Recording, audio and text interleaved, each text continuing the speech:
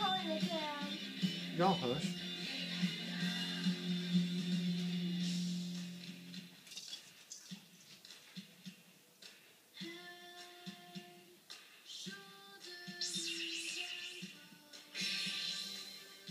Tracy's back in.